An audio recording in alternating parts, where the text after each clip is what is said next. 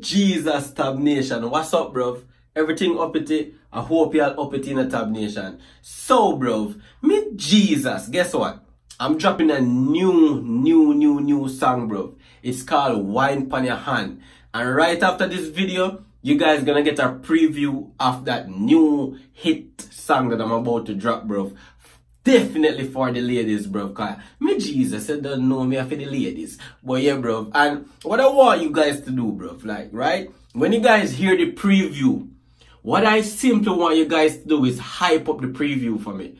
Like hype it up on your Instagram, your Snapchat, your Twitter, every single, everywhere. Just hype up the preview for me, bro. If you're a female, I want you to just bubble a little body for the preview for me and so I can put it out and I'm gonna shout you out. I'm gonna give you a shout out on my IG page to preview the song, bro. So, bro, enjoy your night, keep it uppity, and check out the preview of my new song, Whine Pon Yuh Hand. Me Jesus. Hey girl, just wine, wine, wine pan your hand, girl. Wine, wine, wine, broke a spine, girl. Wine, wine, wine pan your hand, girl. Wine pan your hand, cause you're pretty pan your gram, girl. Wine, wine, Wine pon your hand, gal. Wine, wine, wine. Broke your spine, gal. Wine, wine,